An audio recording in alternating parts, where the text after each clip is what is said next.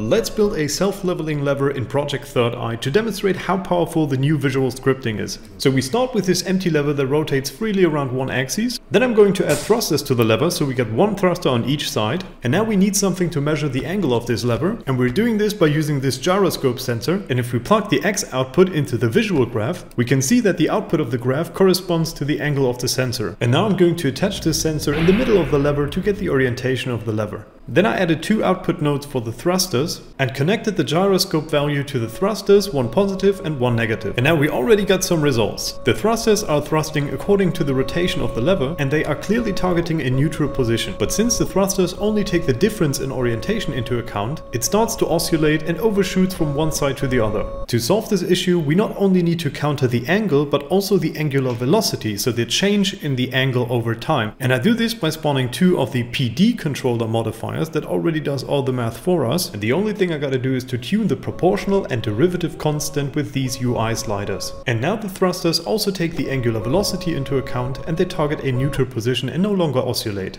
And then I've added the input from another lever onto the sensor values of our feedback system. And this way we can set a target angle for our feedback system. And now finally we can physically control this lever by using another lever and this example should demonstrate how powerful the new visual scripting system really is. And with enough sensors and manipulators you should be able to build your own mods in the game. And now follow the development of Project Third Eye.